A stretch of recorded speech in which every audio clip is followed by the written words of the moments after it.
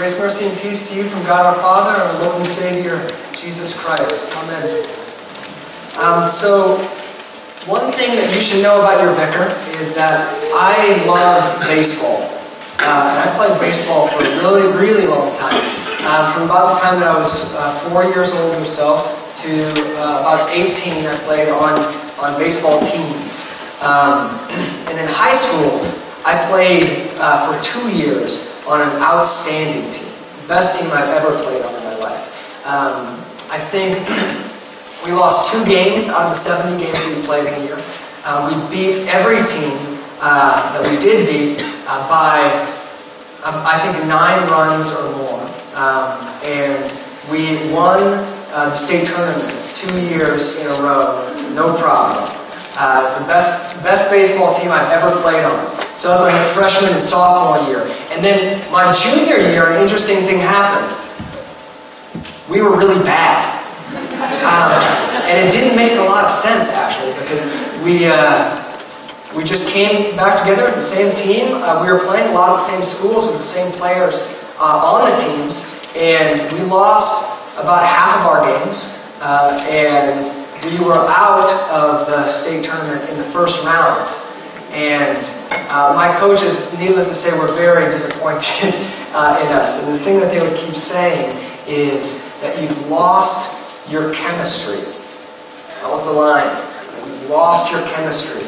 Um, and for those of you who maybe like aren't a part of the sports world, chemistry just refers to like the spark, the kind of intangible spark that uh, a group of people or a team has that kind of sets them apart from the rest.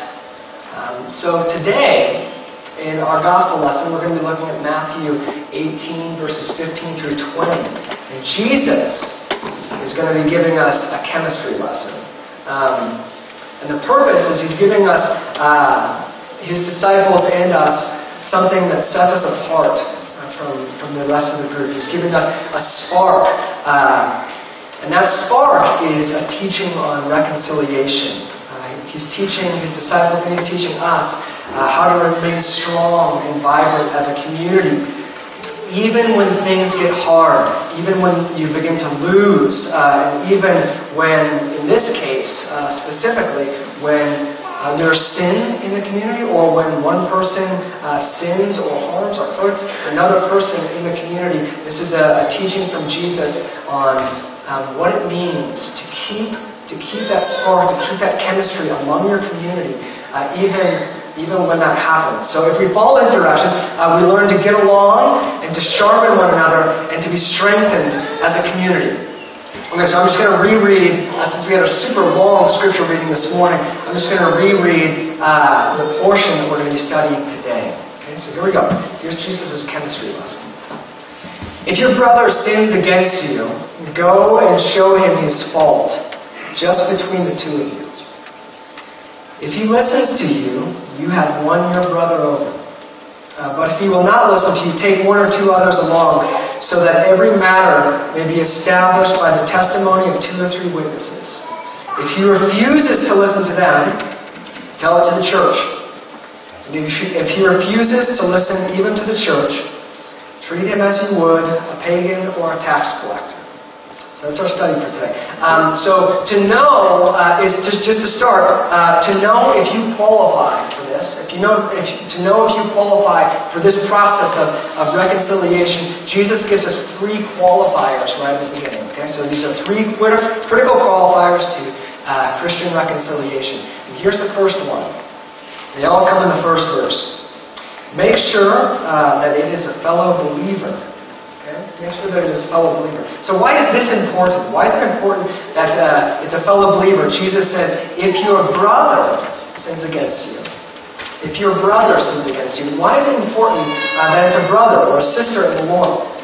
Well, um, if the person that you confront does not claim the Word of God as their standard, uh, you really don't have a lot of basis uh, in which to, to make your claim or your confrontation. Um, you might be able to like appeal to their conscience uh, or just, just a standard that they have in their own mind, but in fact their standard is not uh, the standard that a brother would have or a sister in the Lord would have. You see, um, A brother or a sister, as Christians, uh, is someone who we share standards with. Uh, so all of us, as people, uh, as Christians, as followers of Jesus, sub- say that we submit to His Word. So anything that we see in His Word, uh, we want to live by. And anything that is contrary to His Word, we want to be held accountable to. Uh, and so that's how we do it. Right? So we, if, if I'm out of line, if I'm doing something that's wrong, um, I expect and hope that somebody else will come up to me and say, hey, uh, Vicar Kyle, you're a little bit out of line in the way that you are speaking to this person, or the way that I see you doing doing uh, your work. I think that I think that maybe you're committing a sin and you're going against the Word of God. Um, and I, as a believer, somebody who submits to the Word of God, am going to say, even though that's a tough pill to swallow, that's something that I want to submit to. So I'll say, I'm wrong, and. Uh, and that's the standard. So that's why you want it to be a fellow believer. And That's, that's why Jesus' uh, process of reconciliation really works best if, uh, if it's a fellow believer. The second uh, quali- qualification is that you want to make sure it's actually a sin. So Jesus said, if your brother sins against you. Um, so why is this important? And I think that if you think about it, you probably can figure it out. And it's that there's a lot of confrontation in churches uh, all over the world that happens over things that just aren't sins. You know, it happens over like what banners are on the wall and what color the carpet is and uh, you know who who should be a member of the church and who shouldn't. There's all sorts of things that break out in churches, confrontations that aren't actually sins, uh, and that people people make a huge mess out of that actually just aren't, aren't sins, they're more preferences. Um, so often there's way too much confrontation going on that's not based in sin. Uh, people we whine, we complain, and gossip over things that have more to do with personal preference uh, and personality uh, than with sin. And it's important that we make sure that the action uh, is in fact uh, against God's desires and not just against our preference. Uh, because one conversation or one confrontation will be motivated uh, by care uh, and concern for the brother, and the other confrontation will generally, uh, generally be motivated by selfishness or, or just preference. The third qualifier is the last that we make sure that the sin is against you. The sin is against you. And this one's a little bit trickier, uh, but how do you know that a sin, that someone has sinned against you, for example? Um, I think that for a lot of, in a lot of ways, it's very clear. Some, somebody hurts you, or lies to you, or steals from you, uh, or gossips about you, or anything like that. It's usually very obvious that the sin is against against you. But as I was reading uh, scripture this week, I was, I was sort of confronted by the reality that there are actually in Scripture a lot of examples of, of people who confront somebody about their sin when the sin actually wasn't against them. So, uh, just for example, take David and Nathan. You guys remember the story of David and Bathsheba, right? So, David sinned against both Bathsheba and her husband Uriah by sleeping with Bathsheba, and then he tried to cover it up by having Uriah killed. Uh, and then he lied about it, and on and on. There all of these sins. Now, who do you think was the person to bring up uh, the sin to David? It wasn't Bathsheba. It was actually Nathan. The prophet Nathan was the one who brought up the sin to him. So uh, basically, the point is that we want to make sure that the sin is in fact against us. But it's important to recognize as well that if there is a brother or sister in your community that is struggling uh, with sin, that you, and nobody's bringing it up to them, that you bring it up. So, uh, for example, like if, if someone is uh, stealing or lying or whatever other sinful thing that we do, even if it's not against you, you should probably go and show him his fault. Not only will it strengthen the church to do so, uh, but like our reading said, if Jesus cared about the one lost sheep out of a hundred, uh, then we should probably care about that too. Uh, so it's, it's important to, to bring up those sort of things within our community, um, even if they aren't specifically against us, because it strengthens our whole community and it weakens the whole church uh, if, if we don't bring it up. So from there, uh, Jesus goes on to uh, after the qualifiers to make sure that the person's a fellow believer, to make sure it's actually a sin, to make sure it's against you. Jesus goes on to teach his disciples how uh, you go about winning your brother back uh, from, from sin and from any sort of conflict. The first step is this that you don't make it a public matter or a topic of gossip, uh, but you speak to the person one on one. So the purpose of all of the next four steps are to win your brother back. And that's the purpose here too, is to win your brother over. That means uh, when, when, you're, when we're saying win your brother over, you're trying to convince uh, your fellow believer to trust in the Lord again and to admit fault. Um, so perhaps uh, the greatest challenge for us in this situation is the specific directions to make it a matter that's one-on-one. Far too often, between the time that the sin happens uh, and going to show someone his fault, uh, we have a conversation with others that begins like this You wouldn't believe what so and so did. Or, uh, if we want to spiritualize it, we might say something like this Pray for me. I have to go talk to so and so about so and so, or whatever he did. Um, and it's just kind of a. Uh, a simple but oftentimes deceiving way of talking about somebody else's, uh, somebody else's sins and somebody else's problems. So the reason that we don't, uh, I think, generally talk one-on-one to people is either we don't care enough to bring the problem up at all, or two, um, we don't do it because we're bothered, but maybe we feel awkward about bringing up a problem or a conflict that happened uh, between one person or the other. Um, but I think most of the time, uh, when we do that sort of thing, we often want to build ourselves up uh, in our own eyes or in somebody else's eyes as well. But the problem is, is that uh, it won't do anything to win your brother over to do this. Uh, it won't do anything to, to, help, uh, to help him confess or trust in the Lord again. Uh, it will most likely just erode their confidence in you as a messenger and a friend. So Jesus tells us specifically, uh, when there is a state of conflict, go and lovingly show your brother or sister their fault, just between the two of you. Just have a conversation between, uh, between the two of you before you do anything else. Step two, uh, the thing that he says, is to bring in the help of two or three others, uh, other believers. To bring in the help of two or three other believers. If uh, if there is conflict, if you've gone to the person one on one and the person hasn't listened. Um, so just to, just to clarify, this is actually not, the next two steps, in fact, are not uh, getting a posse and or a gang of people together to go and coerce or force somebody in to submission or force somebody in to repenting. Uh, that's not the way that Jesus works, and it's not the way the Christian community works. Uh, the point of this, again, is to restore the brother, to win your brother over.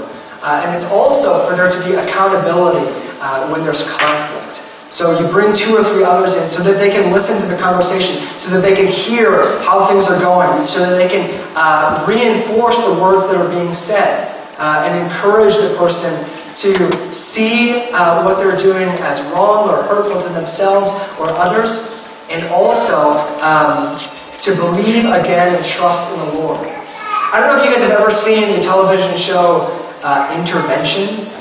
Is that, is that a common show on here? It was on for a while. And the show goes like this.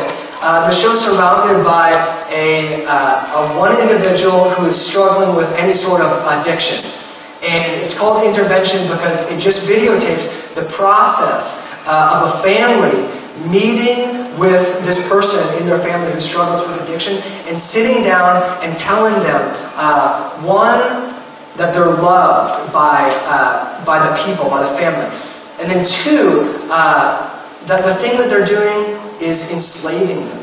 Um, and then three, that they want to see the person free from it. So you get this whole family sitting around and telling this person how much they love and care for them and how much they want to see them healed and reconciled with the Lord. It's really a pretty beautiful show in a lot of ways. Uh, but that's how I think this is supposed to work, both steps two and three, is that we're supposed to bring others into the conversation to encourage somebody to be reconciled to the Lord and reconciled uh, back to the individual that they've sinned against. The third step, um, the third step, if this doesn't work, or if, uh, if the person uh, doesn't doesn't uh, repent or doesn't believe, uh, is to bring in the help of the church. There are uh, specific people in the church, pastors, leaders, uh, who are trained to deal with the problems of uh, unrepentance and stubbornness, to help and counsel. Um, and so, in order for that to happen, oftentimes uh, the church or individuals in the church will bring somebody and just say, hey, you know, I know this person is struggling with this, or there's conflict between me and this person, and we just need help, you know? Uh, and that's been an effective tool for many, many people uh, in, in resolving conflicts amongst themselves. So, like, let's be honest, we all know what it's like for sin and stubbornness to spiral. I uh, am, am generally, I would say, a stubborn person, especially when somebody brings up a fault against me. Uh, I don't know if any of you have this sort of situation that happens in your life, but I remember my mother uh, used to, when I would be doing something wrong, right, and she would, and she would bring it up to me, or my dad would bring it up to me. My first reaction would always be uh, to not say anything, look, find a spot in the distance uh, where I didn't have to look at either of them, and just block out their words. And so my mom would say, you know, uh, Kyle, I realized that since the three or four calls that I've gotten, that you are not doing very well in school at all. Uh, and my eyes would just glaze over and look into the distance and not listen. And then the more that she brought it up to me, the more that that would happen, the more stubbornness that would, I would get in my heart, and the further away I would get. She'd bring my dad, uh, and they'd both sit down and say, like, you know, I don't know is not an answer for a test. and um, and I would continue to stare. And it took a long time for them to break through some of the stubbornness of my own heart to be able to be reconciled and say, hey, you know what? The fact of the matter is, I'm wrong. And I need to change the things that I'm doing. I need to like retrust the Lord's forgiveness and and uh, and change what I'm doing. And I think that that's a similar thing that happens in the church often too. We shouldn't be surprised, but we have. Uh, people in our community that are specifically uh, specifically designed and trained to be able to work through some of those things uh, and work through some of that stubbornness that we all feel. Uh, because we can get to a point if we don't recognize that uh, where we become more. And you should listen to this. This is, I think this is a good way of thinking about belief and unbelief. Is when we become more comfortable with our sin than we are with our Savior that's unbelief. When we trust more in the comfort of our own sin uh, that we know than we are with the Savior Jesus, that's unbelief. And when we come to that place, we really need help. Uh, and when there's stubbornness even in that place, Jesus says, uh, if there's continued stubbornness, if there's continued uh, hardness of heart, we have to treat them as an unbeliever. Because this is the fundamental difference between a believer and an unbeliever. A believer is more comfortable with their Savior than they are with their sin. And that's why Jesus instructs them uh, to treat them as an unbeliever. So, how do we treat unbelievers? That's, a, that's the big question of this text. How do we treat unbelievers? Well, we invite them again to know their Savior and to repent and trust them, trust Him. We also pray for them and continue to share the gospel with them. We don't kick them out. We don't, we don't say, uh, we don't say we don't like you anymore. We don't want to. We don't want to touch you anymore. We don't want to see you anymore. We don't want to talk to you anymore. Um, we just continue to invite them to, to know their Savior and to repent and trust Him. But ultimately, but ultimately, the individual uh, is no longer a brother because they no longer share in the, the belief that Jesus is their Savior. So that's Jesus' chemistry lesson. Um, and he desires us to be a community that sharpens one another by continually talking through our, our sin, our brokenness, the ways that we've hurt one another. Uh, he continues, uh, he encourages us to, us to continue to sharpen one another and not let sin stand between us and the fellow believer. So there's two final uh, observations that I want to make about this whole process that, uh, that Jesus gives to us. Um, and I'm going to take, they're out of order. I'm going to take the second one first and then the, the first one second. So the first one is uh, humility. Humility is the key to reconciliation. Because let me ask you this question. Uh, do you feel as though you can cast any such stones and, uh, and call anybody else to account for their sin when you know that you're sinful too?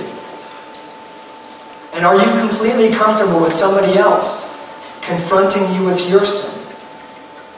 I would say no. I mean, just from my own personal experience and my own personal heart, that's a hard thing to do. It's a hard thing to talk to somebody about the sin uh, that's in their life, and it's an even harder thing for somebody to talk to you about the sin that's in your life, and for you to be receptive to it. Um, but this is uh, the essence of what we're called to do as Christians. Uh, and the problem is, is that we're often too afraid to come to terms with our own sin for us to be able to hold another person accountable. And the way that you break through that is through humility.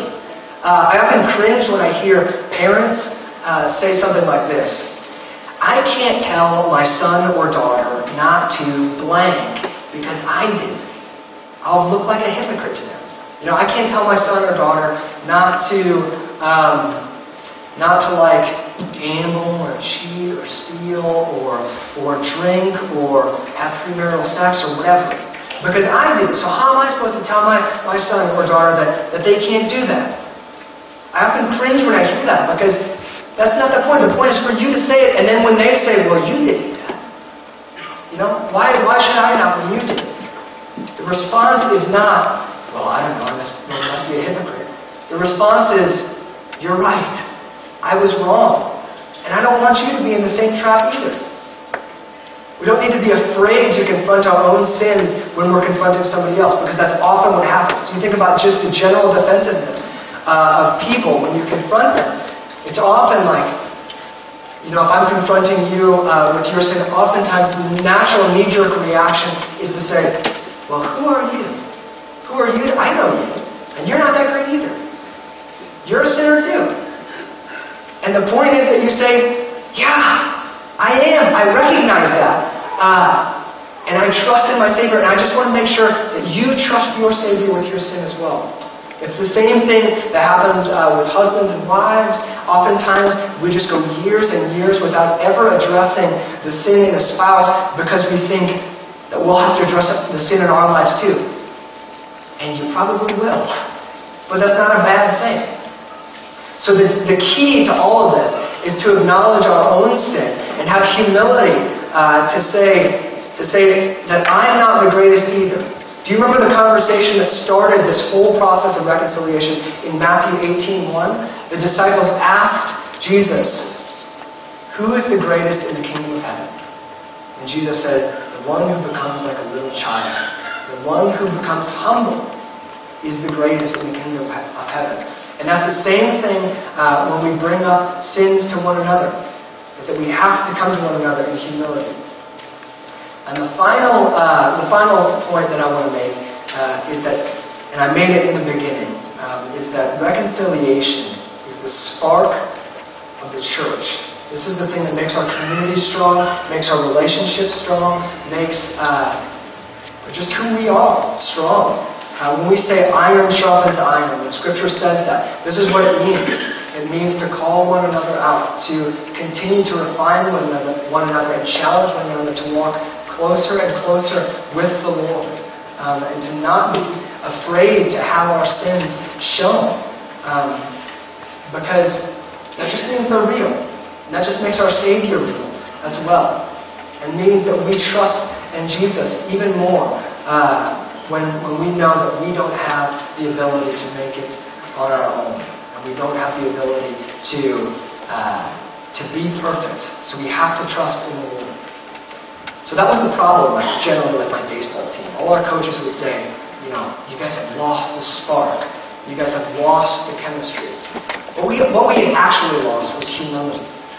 We had actually lost the ability to say, man, we're, we're just not that good. Everybody on the team thought that they were really good. And we looked back in our past and we said, man, we were so awesome. We're still awesome. We've got, we've got the ability to be awesome. We've got the ability to win all our games, to win the state championship. We said that all the way through, through the year. But we didn't. Because we were bad. And we lost a lot. And we had to come to a place where we were actually saying that we weren't that good instead of saying that we were really good. Um, so instead, uh, we're, we're the same way. And I think if Matthew 18 tells us, uh, tells us anything, it tells us that we desperately need Jesus, His forgiveness, um, His reconciliation, and we also desperately need one another to remind that, uh, to remind ourselves of that as well. I would just encourage you, uh, just one last note, that if if you do have uh, sin or distance between you and a fellow believer, I would- just encourage you to bring that out. Whether it's calling the person on the phone after church today or talking to, to them one on one, you know, in, in your neighborhood or wherever. Uh, if you have a conflict with a fellow believer, bring it up. And also, if you feel far from the Lord, recognize uh, that He too wants to be reconciled to you. Right? And Hebrews 2.11 calls Jesus our brother. Uh, and says the one says that He is the one who humbly came to show us our fault and sin, right? And to restore us to our Father in heaven uh, and to one another here on earth. So let's just do the same uh, for one another as we live out our lives as a community. Let's pray. Gracious Heavenly Father, we recognize that the sin and brokenness that separates us from you um, no longer has to stand because Jesus, uh, your Son, has reconciled us back to the Father. And we pray, as St. Paul prayed and implored all of us, uh, to be reconciled to you and to be reconciled to one another. Um, we pray that we would just hold tightly to that as a church. No other community, God, uh, is like that in the world that continues to be to be reconciled, uh, continues to seek forgiveness uh, for sins and problems, and continues to stick together even through thick and thin. Um, we know that you have given us your spirit, and you have given us the spirit of reconciliation to share with one another in this church. And we pray that we would do that uh, in your Son's name, who reconciles us all. Amen.